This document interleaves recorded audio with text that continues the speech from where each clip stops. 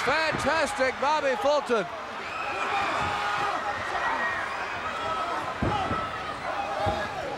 Percy Pringle is set down over here at ringside. He'll be rooting for his men to win. Who's on the pole now? Fulton's still up there. There's a finger in the eye for Wild Bill Irwin. Somebody else is under there. That's Frankie Lancaster.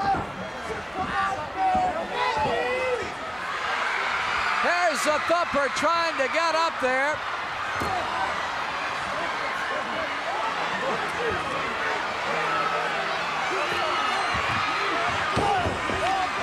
Here's Brian Adias now. Here's somebody who's that somebody trying to climb over all of them. That was Tatum, and he goes out to the floor. Oh, what a match.